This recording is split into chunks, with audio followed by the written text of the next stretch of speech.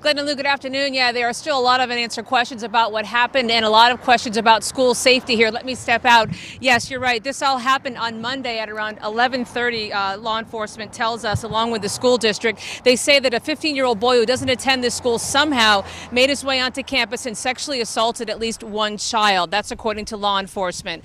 The Riverside County Sheriff's Department at the Lake Elsinore station say staff members here at the school saw that an unknown male was wandering around. They immediately contacted contacted law enforcement and followed the suspect until deputies arrived. The teen was caught and arrested a short time later off campus.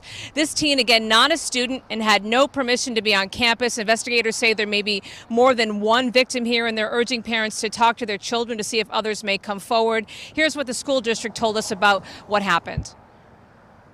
We are deeply um, appreciative of all of our staff who promptly notified law enforcement.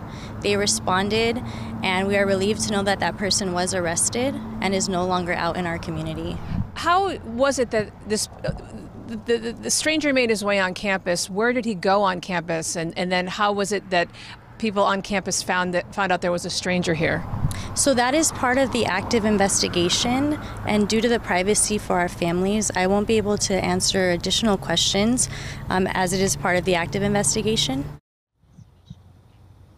Very unsettling for some parents who wrote to KTLA. The district couldn't say much about the specifics, but says it is committed to sharing any new information when they get it. We don't have any new information about who this teen is or how he got on campus. The district says the only way in the building here is through the front door and past the office. The district told us that the school here has security and that they are employees of the district and that a school resource officer from the sheriff's department also rotates between schools here in the Lake Elsinore district. So again, uh, you can see the sheriff's vehicle out here today, and uh, this uh, situation is still developing. Again, this is a K through 8 school. Uh, many parents uh, wanting uh, several questions answered, especially about how this teenager managed to get into the school on Monday. We'll have more throughout the day. For now, back to you in Hollywood.